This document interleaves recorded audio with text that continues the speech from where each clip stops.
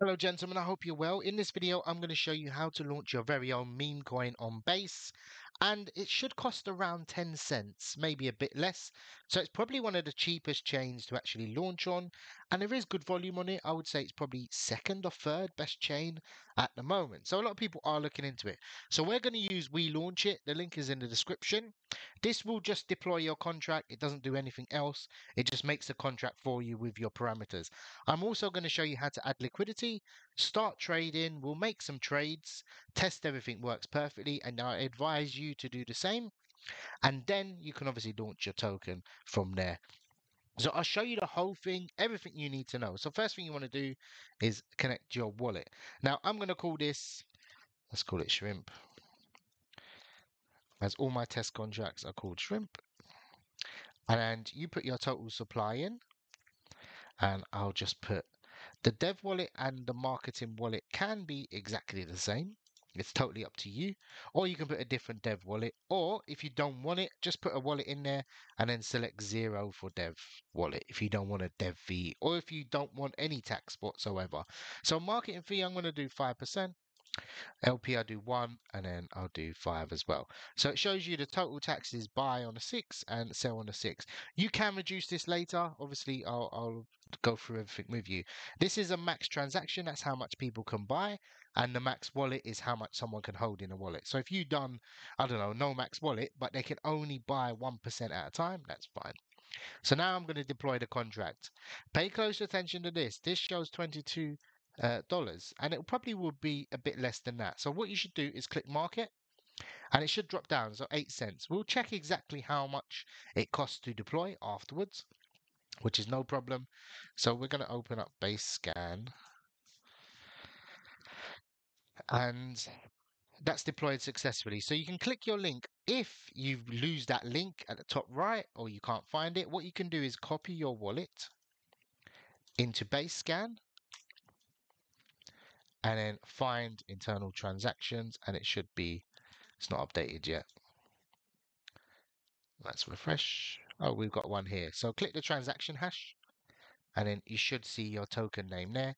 Click that and you've got your contract. So everything seems okay. Now we want to add some liquidity. So what you have to do is go over to swap or pools rather now you have an option of V2 or V3. I would advise to add V2 first and then migrate your pool over. Yeah, so we're going to go V2 liquidity. We're going to create a pair. Now you need your contract address, which is the shrimp one. Where are we? Too many tabs. And head over, okay. And then copy your contract in here. This will show your tokens in your wallet if you can't find your tokens, make sure you've got the correct wallet connected that you deployed with, or you can send your tokens elsewhere. So I'm going to add my liquidity. I don't know how much that is, $100 maybe, and you approve. Once your liquidity is added, trading will begin.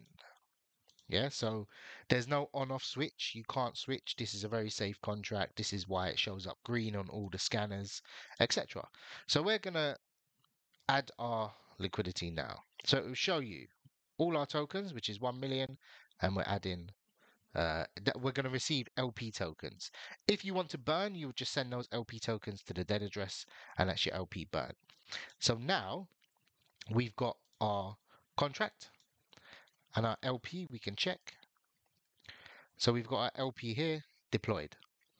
So where does it say liquidity? Here's our liquidity. Half of it is tokens value and half of it is obviously the Ethereum we added. We've had two buyers already, so I don't know what they bought less than a, a cent basically. Someone bought bots obviously, and now we're going to do our own test transactions. So I'll just change wallet very quickly, just to make sure everything's fine. Base is pretty cheap in terms of gas buying, so we will go to swap,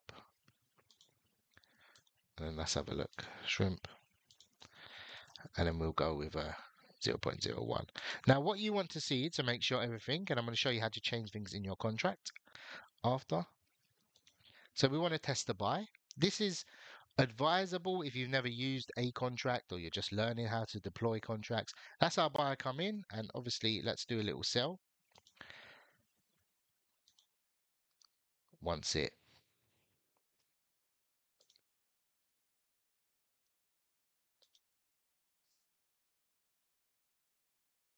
call it. I really dislike Uniswap. So we've got our tokens here. So I'm going to sell 100 tokens. Remember, we got 6% tax. So we should end up with selling only 94 tokens. So we again, we can check that on Dex Screener, or sorry, Dex Tools. We have to sign this message. And if you don't want to watch this part or you know this part, forward it to the part where I'm going to go through the contract itself here. So again, we'll go here. So somebody's obviously brought for, for these bots. So that was my sell,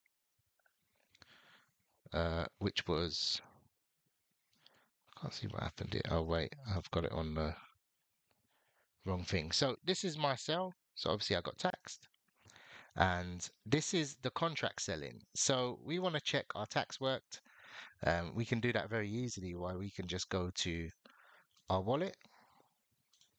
I mean, if you've got fresh wallets, you'll be able to quickly check. But again, we can go to our wallet. So we put this down as our tax and we want to see internal transactions.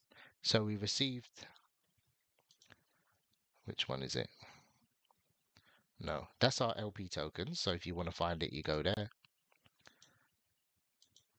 and then this is our tax we received yeah? Value shows that amount. So that's the tax we received. You get it on every buy and sell off of that. So again we're going to go in and we'll quickly show you how to alter the contract. So you want to go to right and the contract you deployed with or the wallet you deployed with you want to select and connect. Now I'll go through everything here and show you what these are. Approve is uh, basically when you approve uh, in your wallet, that's a contract function in that decrease amount, etc. That's obviously the approval increase. You can renounce ownership, just click right and then approve it in your wallet, and that's it. You can exclude a wallet from tax. So if you had a wallet, you'll just copy it here and write the word true. If you want to switch it off, you write the word false. Yeah, no capital letters, otherwise it will not work. Don't put a capital letter for the F. Yeah, again, the same thing with exclude from max transaction, max wallet, you do the same. That's how you just approve or whitelist a wallet like that. Transfer, that's a transfer function within the contract.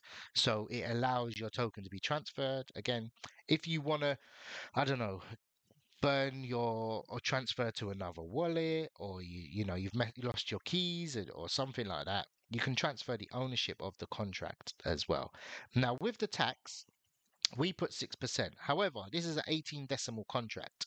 So you want to make sure you always have, if we want to change it to 5%, we can go 1, 2, 3, 4, 5, 6, 7, 8, 9, 10. 1, 2, 3, 4, 5, 6, 7, 8.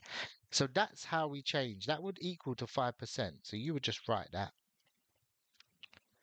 here and you can check with a honeypot detector on base, something like that, uh, just to make sure it has gone through and it's correct. That's what I like to do. Update dev wallet, just put a new dev wallet and the tax, obviously I've explained and gone through. But really and truly, that's pretty much it. You might want to obviously burn, add the the if you want to burn your LP, you'd obviously find the LP token uh, in your wallet.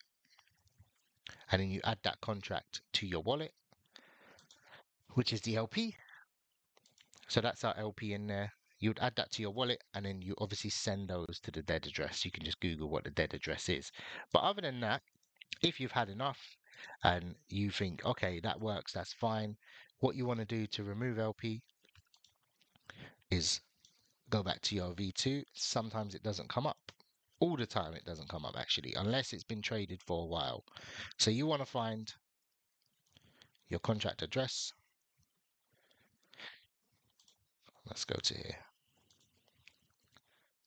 And just to safely remove LP, Make sure obviously no one's brought in. Uh, copy your contract address here. I'm in the wrong wallet. That could mean why it didn't show up. So we'll just connect number one. And we've got our pool here. And you'll click manage. Now, if you want to, and I would advise, migrate over to V3 uh, in terms of your liquidity pool. So we'll just remove that. Max, approve it. And then we'll remove it.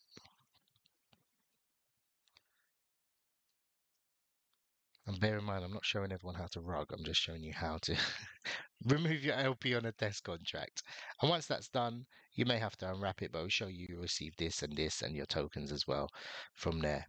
So I hope you've found this video useful. If you have any questions, please let me know.